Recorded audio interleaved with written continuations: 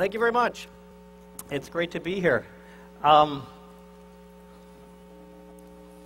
the, uh, the title of this talk is uh, The Psychology of Game Design. Uh, everything you know is wrong. Um, I was going to call it, you know, um, people are funny, gamers are goofy, uh, it's all in your head, or everything you know is uh, questionable. But I thought everything you know is wrong. Um, kind of get the juices flowing, maybe get a little more interaction. Um, the, uh, the premise of this talk is that um, is there any way to get the slides up in the back of the uh, back of the hall? Um, is that gameplay, game design uh, is a psychological experience. Gameplay is a psychological experience. Um, when I design a game, a lot of my games are based on uh, historical topics, uh, the history of civilization, railroads, pirates. And the, and the way I would generally approach those topics is, you know, make it realistic, make it true, make it about, uh, you know, the more historical uh, I can make the game, the better it would be. The more railroady the game is, the better. The more piratey it is, the better. Um, and what I found in, in taking that approach was that a lot of what I thought I knew was wrong. And um, the reason was because I really hadn't uh, taken into account what really happens in the player's head. And once uh, that became an important part of kind of my design process, uh, things started to become a lot clearer. So um, the premise here is that uh, by acknowledging that the, the game, gameplay is really a, a psychological experience, we can um, uh, save us, ourselves a lot of time in certain areas. It makes certain parts of the process um, easier, certain makes other parts of the process more difficult. But at the end of the day, I think we, we end up with, with a better game. Um, in the process, as we, as we kind of ex, ex, uh, explore this idea, we're going to kind of run into a few psychological concepts. Um, egomania is one of them we'll have to uh, explore. Basically, if you play Civilization, you are an egomaniac. I mean, it, it says right on the box, you know, build a civilization to stand the test of time. And you're there like, oh, yeah, I can do that. I can do that. No problem. So you are an egomaniac. Okay. Uh, we'll also be uh, looking into uh, paranoia, uh, delusion, and um, self-destructive behavior. This is ways that players actually kind of make the game less fun for themselves. Things they do to, to, um, to kind of detract from the fun of the game, and, and ways that as a designer we can uh, try and minimize those, uh, preempt those, and, and, and, try and prevent that from happening. So those are some of the things we'll be looking at uh, in the course of this uh, talk. So the first area where psychology really kind of plays an important role in, in, in game design um, is something I call the, the winner paradox.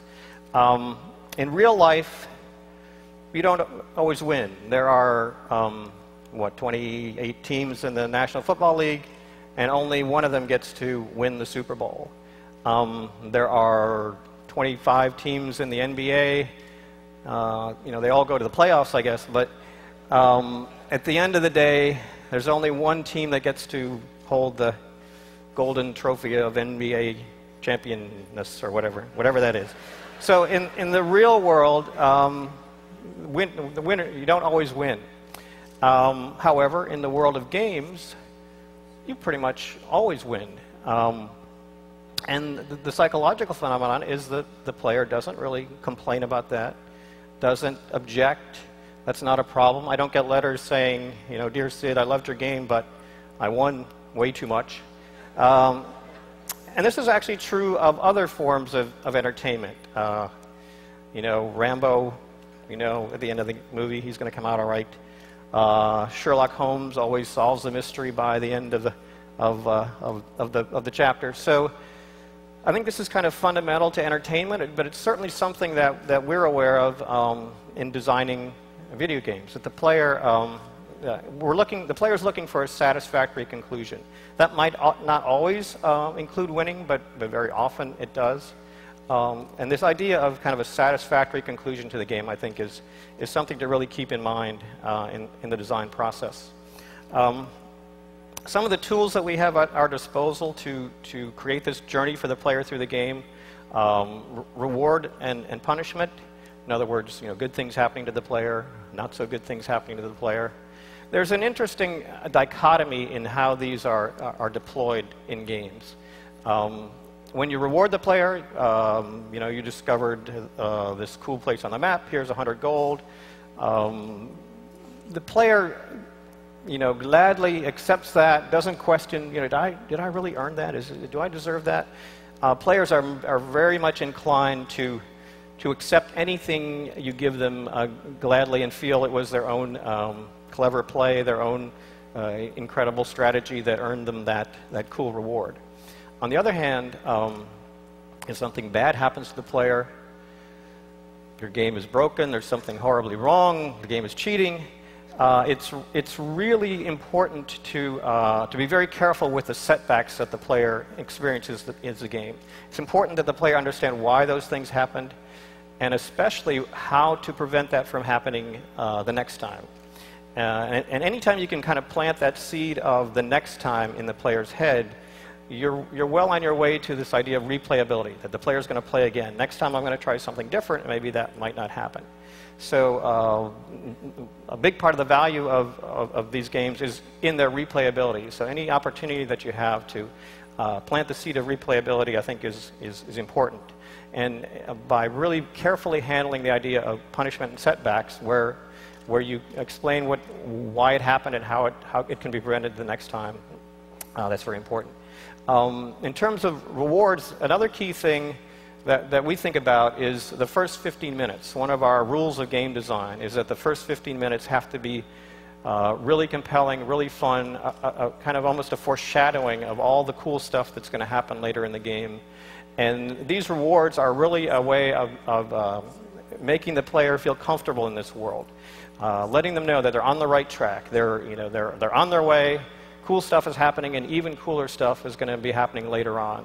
And these early rewards, you can almost not reward the player enough in the, in the very early stages of the game to kind of get them invested, get them committed, get them to be uh, part of the world that you're creating. Um, now, this doesn't negate the value of difficulty levels. Uh, I'm not advocating uh, an elastic uh, difficulty that you know, always uh, pushes the player forward and never provides any challenges.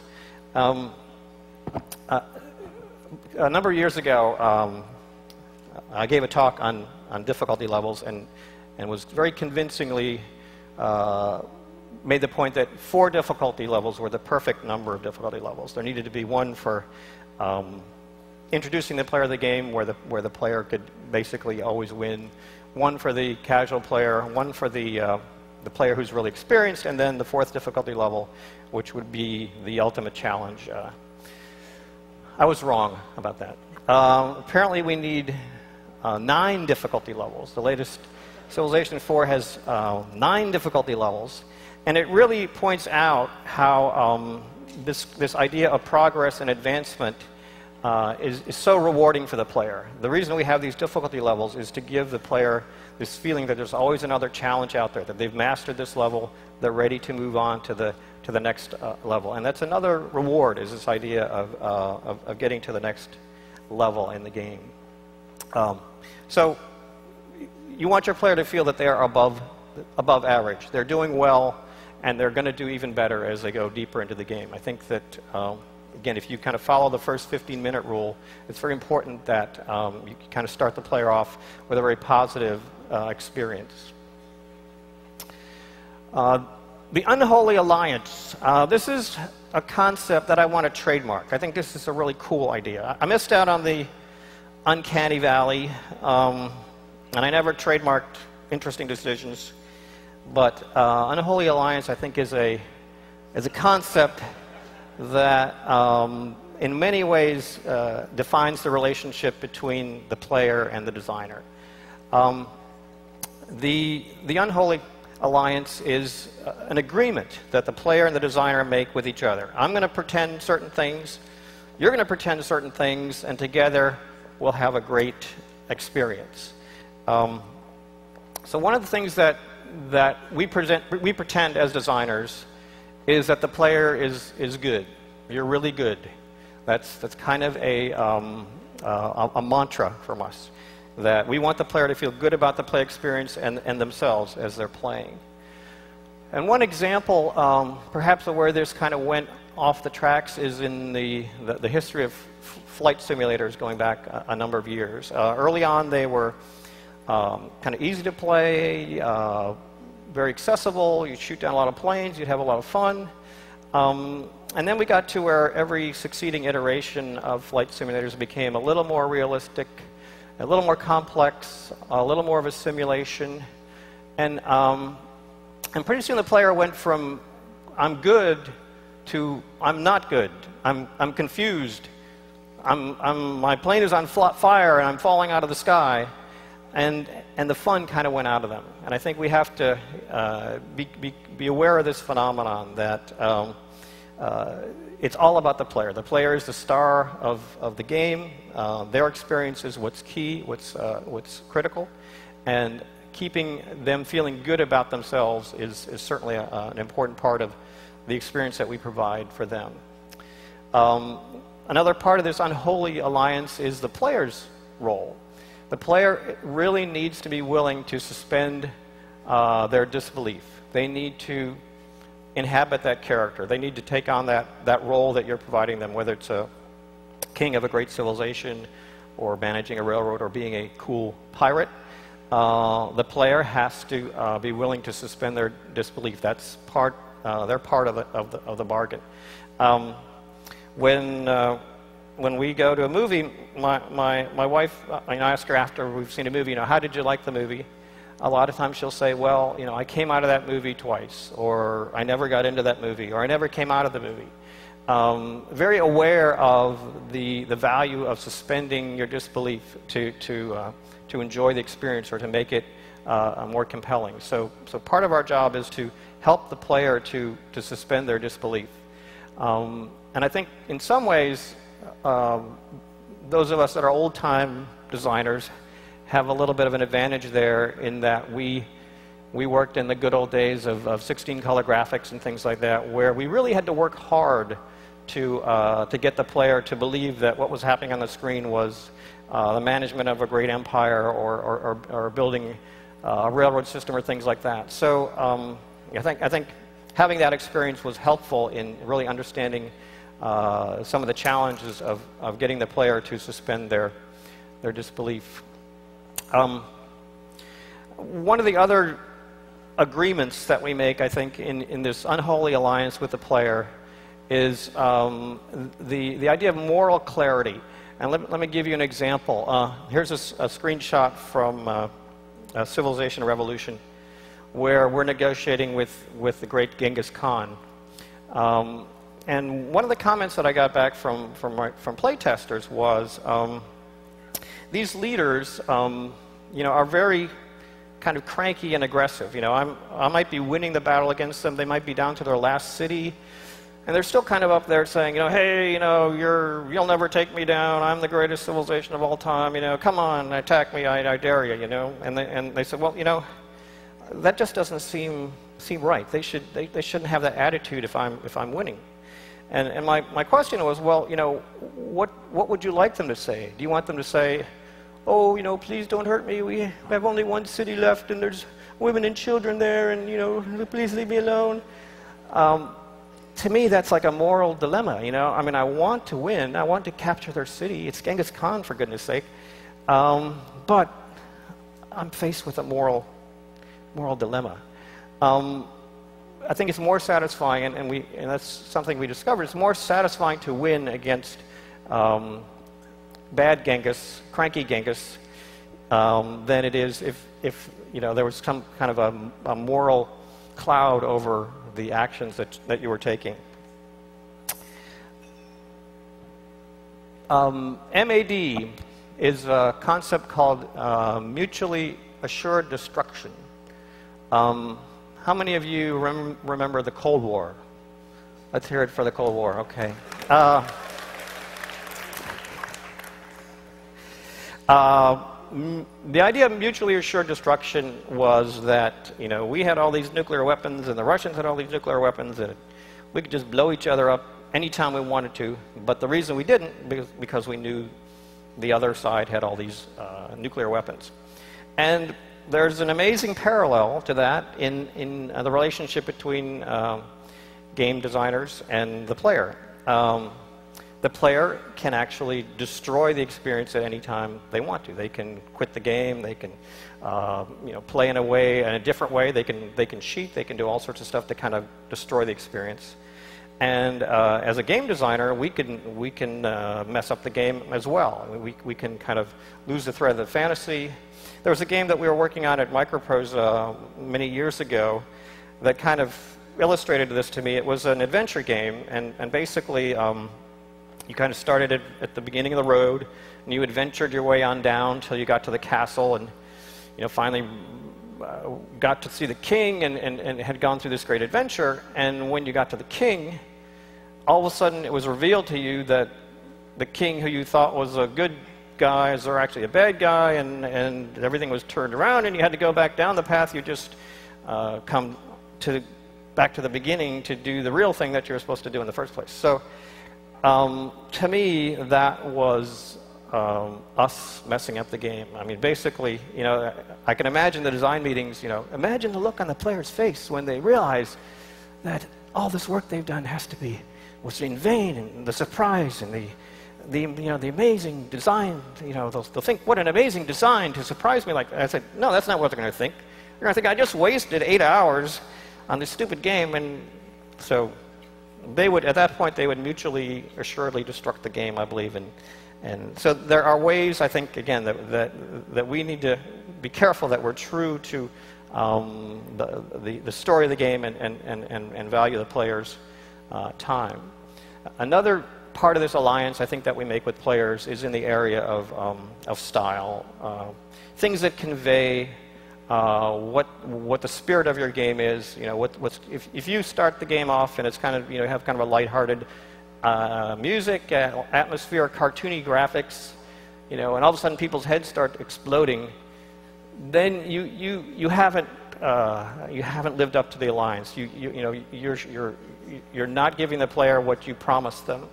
You know, on, on the other hand, if you, um, you know, if you have dark, foreboding graph, uh, sound and music and, and, and it ends up being a very simple game, again, you, you, you, you, you kind of are, are fooling the player. And, uh, you know, if, if, I'm, if, if I'm playing a game that starts off light and happy and, and, and, uh, and, and cartoony, and all of a sudden, you know, terrible things start to happen, you know, that's, that's when the player uh, you know, loses their suspension of disbelief um, and turns off your game and, and moves on. So I think um, the, the, the only way to kind of uh, maintain the suspension of disbelief, which is critical to keeping the player in the game, is to really um, uh, make that a priority and, and, and use things like humor style, music, atmosphere, all these, all these tools to, uh, to, to, be consistent and, and keep the player in, in your world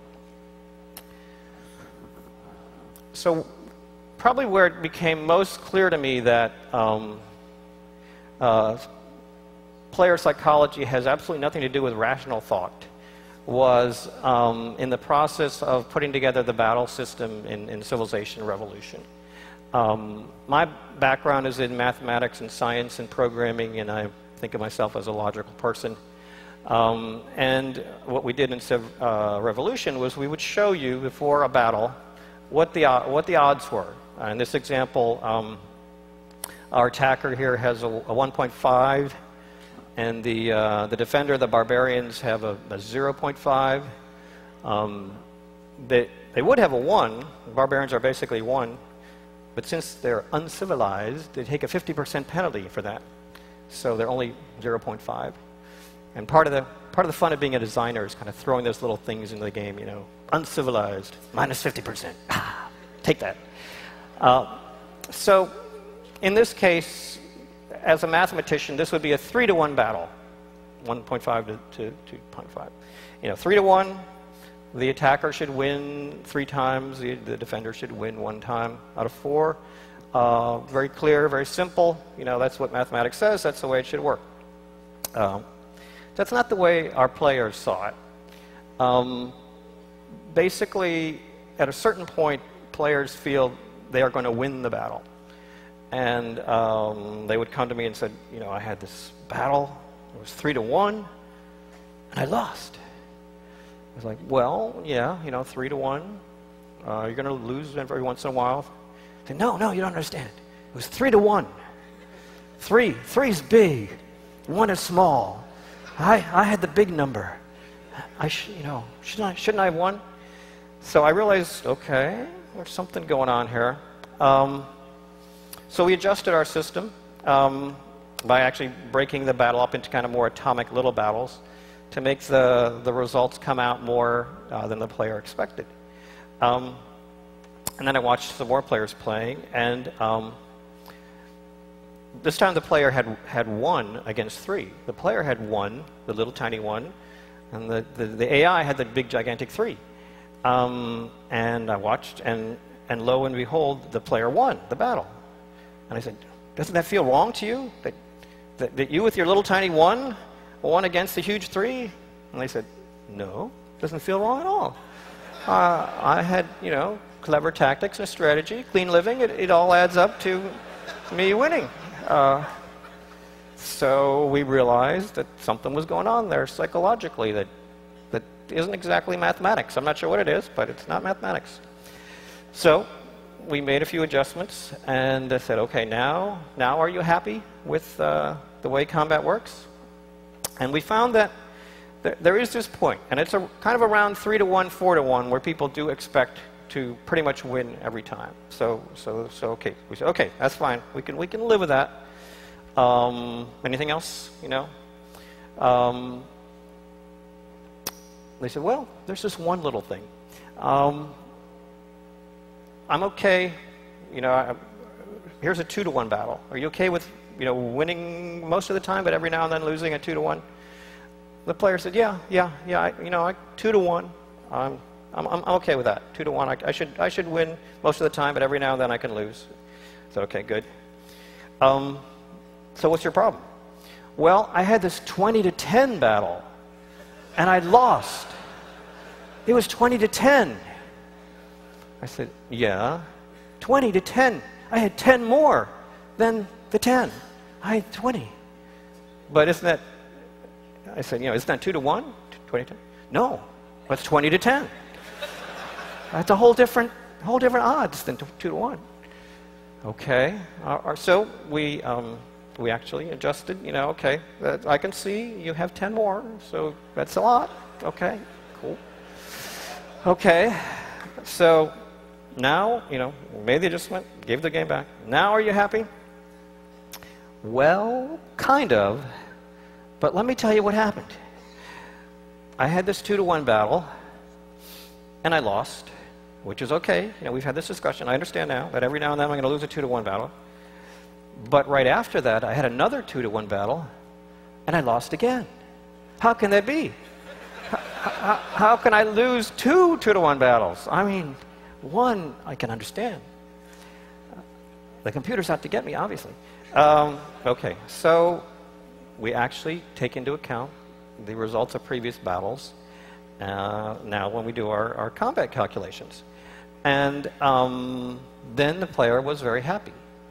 Um, and, and we don't really do this just to make the player happy, but it's really uh, um, when, when something happens in a battle like this that, that feels wrong, we, we start to lose that suspension of disbelief. The player comes out of the game and, um, and starts to, you know, uh, pay attention to other things that are going on, uh, not what's in the game. So it's all a part of the process of, of really trying to maintain the suspension of disbelief as the player is playing the game.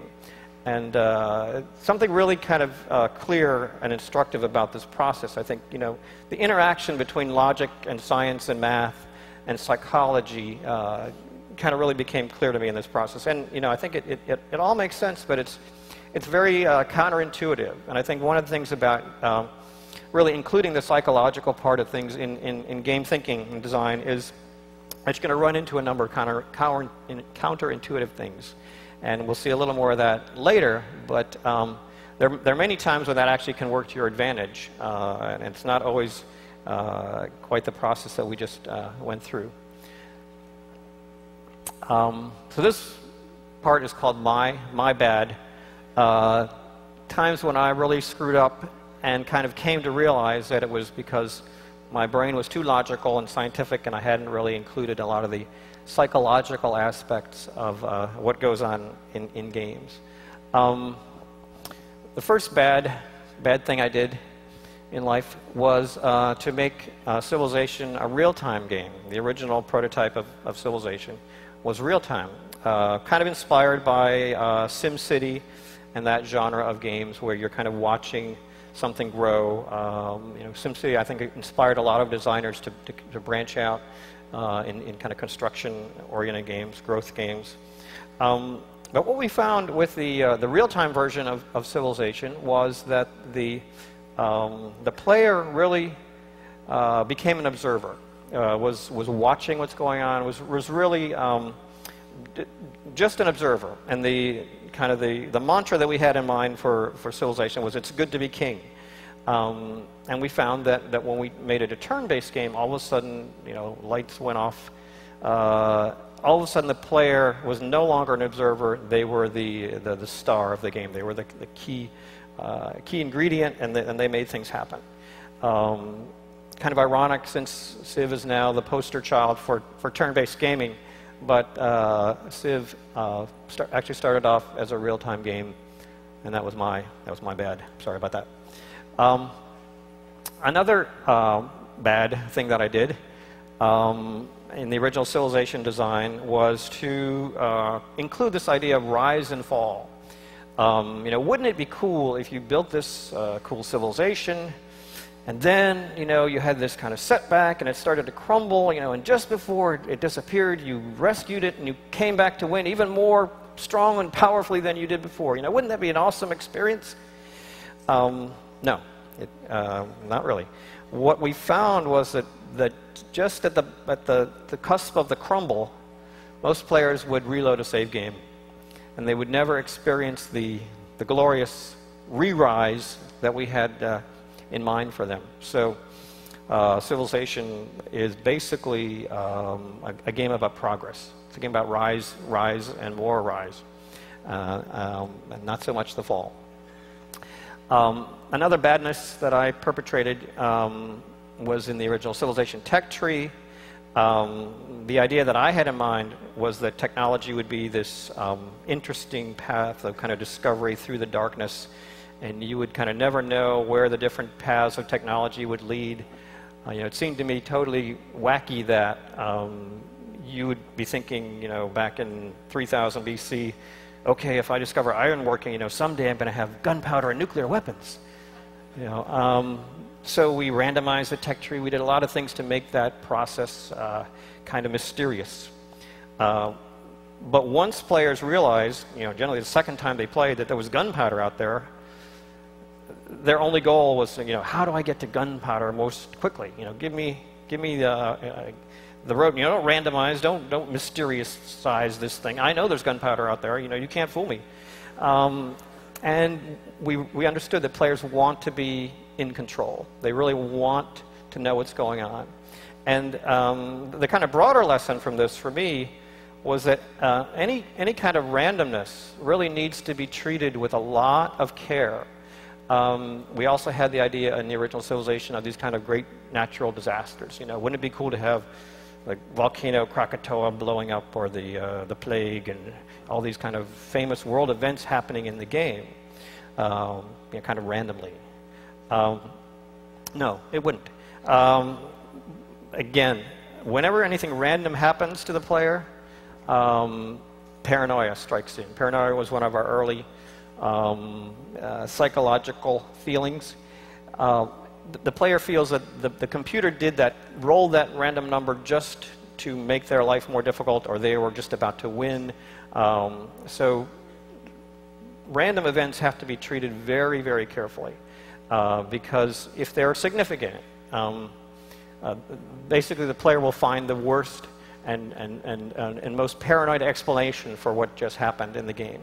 Uh, randomness at a, at a low level certainly uh, helps a lot to uh, variety, replayability, things like that, but really need to be careful with randomness um, at, a, at a really significant level.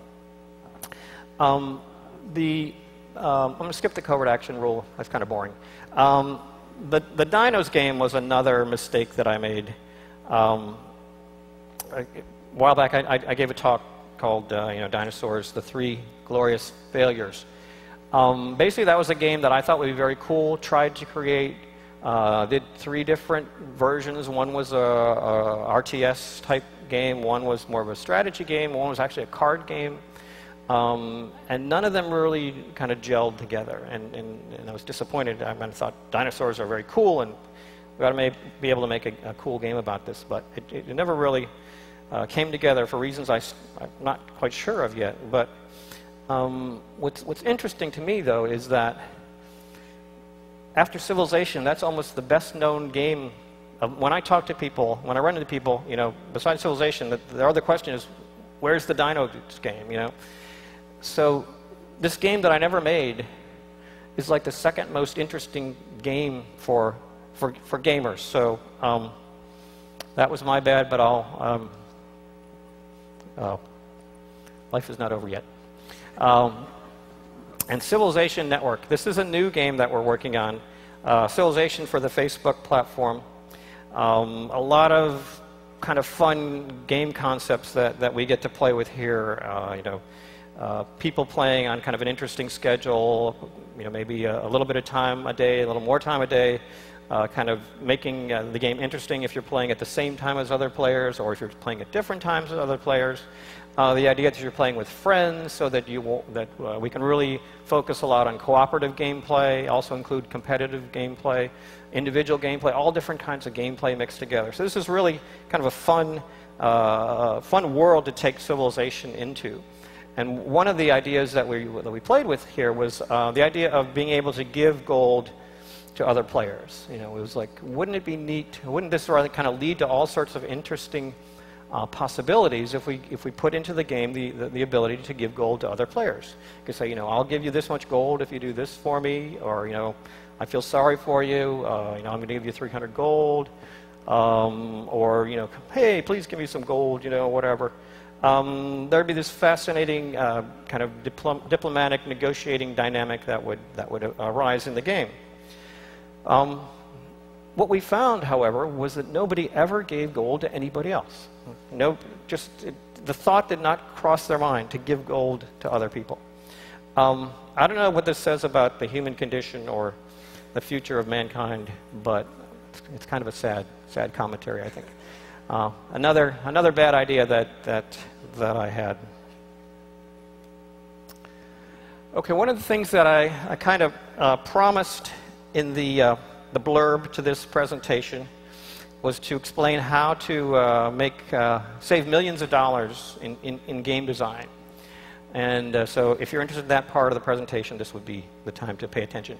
Um, one of the techniques I think that's very, very uh, important in making AAA games on a, on a shoestring is to really use the player's imagination as, as a very key tool. Um, no matter how good your graphics are, no matter how cool your technology is, what's happening in the player's mind, the player can always visualize something uh, more compelling, more dynamic. Uh, so, so the goal of, of, everything we do is to make something happen in the player's imagination that is uh, that is really cool. And, and often we don't have to literally uh, show everything in the game to make that happen. If, if the player can imagine what's going on, you know, imagine what Napoleon is doing when he's not actually on the screen, uh, imagine what's going on behind the scenes, then uh, we save uh, a lot of money by not having to create all those assets and do all those things. And one example, again from uh, Civilization Revolution, is, uh, is this screen here. Um, it says foreign rulers seek your favor. The Sultan of Zanzibar sends you a caravan of exotic gifts, including seven dancing bears. The, the principle here is something I call go with the flow. In other words, um, if it's something the player is already inclined to believe, if it's something the player wants to believe, it's very easy to make that happen in the, in the player's imagination. The player looks at this and says, Oh, oh yeah, foreign, foreign leaders should be seeking my favor. Um, and, uh, you know, exotic gifts, cool. They should be sending me, and, and, seven, you know, dancing bears, that's, that's very cool. So it's, it's happening you know, in your mind, the bears are dancing, it's all happening up there. Uh, because you know, I'm, in, I'm, inclined to agree with this sentiment right here. And um, we actually don't have any dancing bears. There, there's no real, there's no Sultan of Zanzibar. There's no caravan. But by going with the flow, we've saved ourselves millions of dollars in not having to create all these models and textures and assets and all this kind of stuff uh, because the player is going is gonna, wants to believe this. And um, all we have done is basically put up uh, a text box. Now, that allows us to save our, our, our resources, our time, our energy for the things that are, that are kind of harder to sell, the things that the player might not be so inclined to believe or, or kind of want to see uh, brought to, to, to, to life with all sorts of cool graphical stuff. Um, another technique for saving millions and millions of dollars in uh, designing games is to, to use, uh, take advantage of what the player already knows.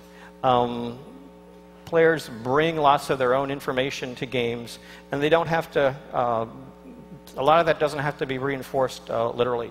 Pir you know, Pirates, for example, a game where uh, people bring a lot of, um, of their own knowledge to the game. So if you know, they see a, a swordsman with a black curly mustache, you know, they probably know that that's going to be the evil uh, meta villain that they're going to have to sword fight, and, and, and we don't need a whole lot of backstory you know, to explain you know, how he got that way and what his childhood was like, et cetera, et cetera. Uh, black curly mustache, you know, okay, bad guy, Time for a sword fight. Um, millions of dollars saved in backstory. Um, so these are just a couple of techniques by which um, you can kind of focus, I think, your energy and your resources on uh, what's going to be really impressive, what's going to be new, and what's going to be hard to sell in the game, and, and, and take advantage of, of, of, things that the players kind of going to almost automatically provide uh, through their own uh, imagination. Let's talk about artificial intelligence uh, for a moment. Um, AI is often a place where psychology really comes strongly into, into play because um, the AI kind of represents your opponent, the enemy. And whenever you're in a, in a kind of conflict situation, um, your psychological juices are, are, are, are, flowing even more strongly. You're, you know, you're really uh, committed and invested in that, in that conflict. And so um, a, a, lot of uh, players project a lot onto the, onto the AI because they feel this, this competitive situation. And there's, there's a number of different philosophies about AI. Um, and and you know, my point of view is not necessarily the only point of view. There may be uh, other, other points of view. But I look at um, AI as one element in creating an integrated uh, overall experience for the player.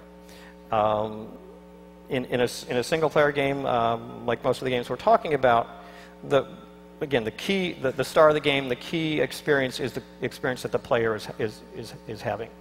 Um, and so AI is kind of a tool to, to craft that experience, to customize it, to make it uh, seem even more uh, real to the player. Um, there's another point of view, which is that the AI should act like a, another player, another person, should have humanish characteristics and should feel like another, another player. Um, I don't actually subscribe to that philosophy. There's, there's a couple things that, that I've seen that, that make me shy away from that. I'm not saying it's uh, absolutely the wrong idea, but um, in, in, my experience, um, if an AI has human characteristics, one thing we you know, talk about is um, I want it to surprise me. I want it to be tricky and clever. Um, no, I don't, I don't think. When AI does that, most players feel that uh, it's, it's being stupid, it's being uh, it, it's, it's dumb because there's a fine line between, uh, between clever and dumb, and the player is inclined to, uh, to see the AI as being dumb. Um, if, the, if, the player, if the AI does something really brilliant, the player will assume that the AI peeked behind the scenes and looked at my numbers and looked where, where my stuff was and, and, and cheated, basically. Um, so there's a lot of kind of psychological um, stuff that goes on uh, if the AI acts in ways that are, that are kind of out of, out of the norm. And, and they generally uh, lead to the player kind of jumping out, losing that suspension of disbelief and trying and kind of blaming the AI for, for um, uh, what's going on in the game. So um, in the, the, way that I approach AI is to, is to make it almost a, um, a metric, kind of a, a, a solid competition against which you play, but which you can uh, kind of feel and, and uh, your advancement as you, as you go on. You, you, you get this real sense of, of progress. There's this improvement metric that the, the AI is kind of predictable, kind of solid and steady, and, and you're the one doing the brilliant things and the clever things and, and, and getting better and better versus the, the AI. Another thing that AI can do is give you uh, feedback uh, when you're talking to the, the leaders in, in civilization. They often comment uh, upon what you're doing and how, you know, whether it's good or bad or whether they like it or don't like it. Um, when we're playing a, a single player game, uh, kind of feedback, um, validation is really important because you're kind of the only person there. And and these AI characters are kind of your only friends at that point in time. So having them acknowledge what you're doing, be aware of it, is really validating for the player and is uh, something we found in Civil Revol Revolution was really important. That, that the, more, the more that the other leaders in the game kind of reflected on what you were doing and, and reacted, the more, that, the more the player felt that, that uh, somebody understood them, you know, kind of, oh, I, you, you, know what I'm going through. And, and, and the, the, uh, they weren't just kind of playing in a vacuum, they were playing in a, interesting uh, uh, world. Okay. Um, talked a little bit earlier about self destructive behavior. Um, ways that the player actually can, can damage their, their gameplay experience. Um, and one of the, the responsibilities that we think we, I think we have as designers is to protect the player uh, from themselves. And there are a couple ways where, places where this really becomes an issue. Um, one is how do you handle the idea of load and, and save? Um, I've watched people play Civilization where before every battle, they save the game. If they don't win, they reload that save game, play the battle again, save it until they win the game. To me, that's not really playing the game that I designed. That's not the experience uh, that, that, that I think is most interesting. It really doesn't require you to have a flexible strategy. It doesn't kind of require you to think, uh, think ahead. If you know you're going to win every battle, the game, I think, is a lot less fun. Um, so in Civilization Revolution, we actually save the random number um, with the save file, so that if you reload the save file, you get the same result in your battle. You know, ha ha ha. That'll, you know, that'll teach you.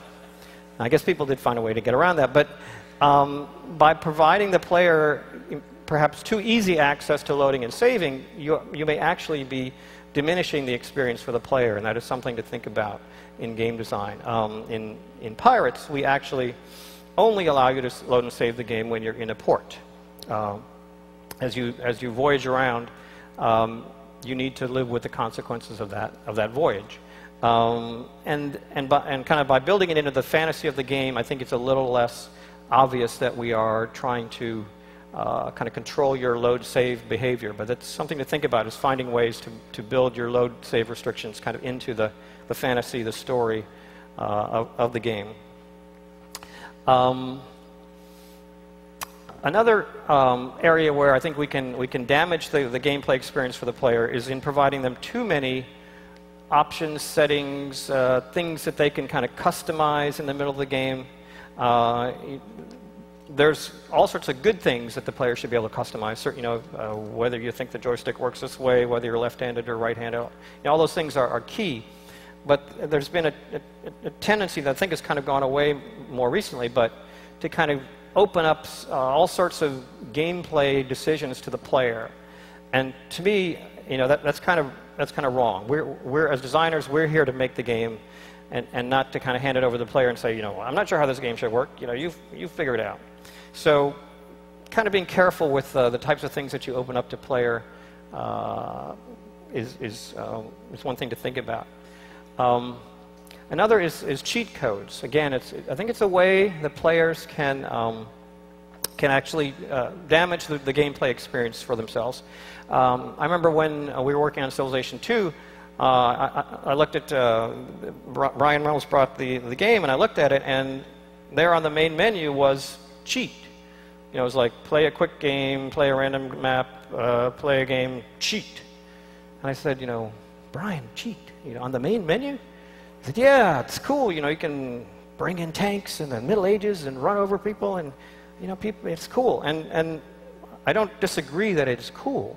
In fact, I watched my, my son when he was playing, you know, have a wonderful time bringing in all these tanks and running roughshod over the, the, the pikemen in uh, the Middle Ages. But it's like, but Brian, you know, just the main menu, can't we just bury it one or two levels deeper? Because, you know, I, I kind of want the players to play the real game first before they start experimenting with the cheats and the, egg, the Easter eggs and things like that. So, um, um, the, the, good, the good news is that this, this cheating idea actually led directly to the idea of modding, uh, which is very powerful. Uh, certainly, uh, with Civilization 2, it was, it was, a, it was a breakthrough for, for Civilization and, and added incredible amount of variety and energy to the Civilization series. This is a, a picture from uh, Fall from Heaven. Uh, and so there's, there's a happy ending to the story of, of, of cheats. Um, and, and, and, modding has been a very cool, cool uh, addition, kind of allowing players to exercise their, uh, their inner designer and, and become part of the, the community process. So um, cheating, I'm not so sure, but modding is definitely a cool thing. Um, so another kind of psychological skill I think that we need to develop as designers is um, listening to the, to the player. Um, I'm kind of assuming at this point that you've bought into the idea that uh, game design is an iterative process, you know, starting with a prototype and kind of building on that, uh, getting a lot of play, getting a lot of feedback, um, build, building a game over time. And if you do that, you're going to spend a lot of time talking to the players, the people that are playing your game, getting their feedback and, and taking advantage of that to make your game better. Um, but what I found in that process is that it's, it's, it's really not that useful to kind of uh, take literally what your players are saying to you. Um, there are um, different, different kind of ways that play, players will, will, react to, to the game. Um, one is to kind of provide you with solutions. You know, uh, I think you should take this out. I think you should change this. Um, I think you know this should work this way. Uh, some occasionally that's useful, but a lot of times that really doesn't take into account um, other parts of the game that that would break, et cetera, et cetera. And it's tempting to kind of discard that. You know, that, that's not going to work. I know that's not going to work. You might have even tried that. Um, but I think it's important as a, as a designer to get get some real value out of that to drill down to what is motivating that solution. What is what is wrong? What is what is the kind of thing that the player is feeling or doing that is unsatisfying that leads them to, to kind of suggest the solution? And a lot of times you can find something that uh, is consistent with, with your game design and your game ideas that will solve that problem for them. It might not be the exact solution that they propose, but it will solve the problem and everybody, everybody's happy. Um, an, another type of um, comment that you might get back is, is kind of the, the opposite of that. It's, it's an emotion, you know. It doesn't feel right. It, I'm frustrated. I'm confused. I, you know, again, no, very little information.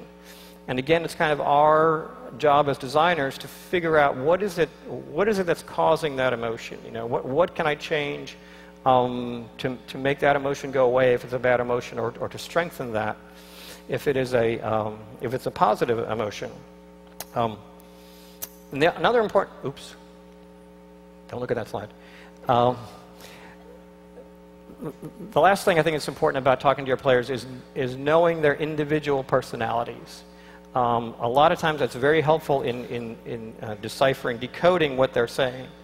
Because a certain player, you know, might not like that type of game and is never going to be happy. Uh, there, are, there are certain players we call uh, Mr. Anecdotal who will be convinced something has happened that you know is impossible, but we'll, we'll you know, we'll, we'll, just kind of harp on that one thing that, that, that there are people that are very generous, you know, kind of afraid to say anything bad about the game. You almost have to force them. I know you hated something about it. Come, tell me. Tell me what it is. Um, so, kind of knowing the personalities of uh, your players is, is important, in, again, in deciphering um, what, what, they're really trying to tell you. And uh, kind of really tapping into this resources, which is really invaluable uh, the gameplay experience of, of your testers as you're playing the game. So, what is the point of all this, you might be asking? Um, kind of like to wrap it up with this idea of the epic journey. I think this is what we're trying to create for the player is an epic journey. Uh, I think I should trademark this one too. Epic Journey. Keep that in. Um, you know, it, uh, game, there's so many genres, so many styles of games, so many different ways of gaming. But uh, I think, in a way, they, they can kind of all be encapsulated in this idea of an, an epic journey. And how do we use psychology to make our journey more epic and our epic more journey like? You might be asking. Um, here are a couple of tools um, that we have to make that happen. Um, I come back again and again to the idea of interesting decisions. Um, that's really the core, the, the, the, the, basic fundamental pieces of your game are these decisions that you're giving the player. And um, the process, the journey is the process of exploring all these decisions and seeing how they relate to each other and, and, and playing through them. So um, th think about the decisions that you're giving your player. Um, are they ones that, that, that encourage them to project, to think into the future? You know, if I do this, what is going to happen? Do they have interesting um, kind of not taken paths. And the, the, most, the coolest decisions are the ones where the player chooses path A, but they're kind of saying, well, next time, you know, that path B looks kind of interesting too. So I'm going to play, I'm going to play next time and try that other path. Those are the really powerful decisions. If you can, if you can build them into your game, you, you're, you're, you're uh, well on your way to creating the epic, epic journey. Um, learning and progress. Um, this is fundamental to the journey. The idea that you are constantly progressing, you're constantly um, at a better place than you were before, you're smarter than you were before, you're more powerful. Um, it's kind of fundamental, but it's easy to lose track of this. I think that you cannot uh, reward and acknowledge and, and, and reflect this progress too much in a game. It's very important for the player to know uh, how they're doing, uh, what progress, you know, what value has this last half hour, this last hour been to me in terms of, of, of playing. Um, you know, I think World of Warcraft does a great job of this. You know, the, the level system is, you know, makes it very clear uh, the, the kind of progress you made and, and their, their ways of building this idea, which was very powerful uh, into, into your game. One more turn. This is another way of, of making the journey epic. Um, it's a concept that, that we relate back to civilization, but it applies to almost every game. The idea that the player is constantly kind of leaning forward. They're anticipating things that are going to happen later. they they're, they're looking forward to their plans coming together. They're wondering what's around the next corner. Uh, you can foreshadow. You can, you can kind of uh, just let people know that cool stuff is going to happen soon. And it draws them very much into this um, one more turn phenomenon.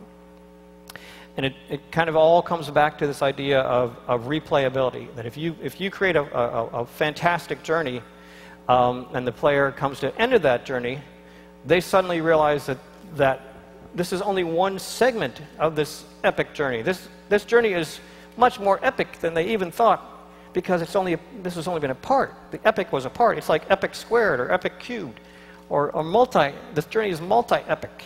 Um, and replayability kind of plants that seed and, and, and, makes that happen for your game. So these are some tools, some psychological tools that, uh, that, that make your game the coolest epic journey of all time.